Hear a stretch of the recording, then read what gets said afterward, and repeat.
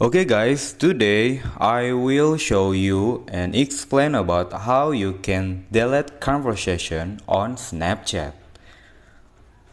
Before I start, make sure to subscribe my YouTube channel, give like, leave the comment and share my video.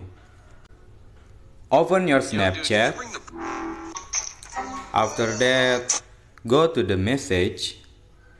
And now you have to select what message you want delete the conversation okay?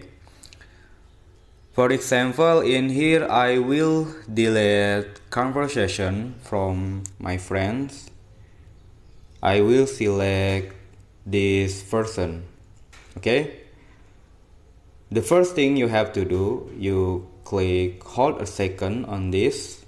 After that go to the chat settings. And now you select clear from chat feed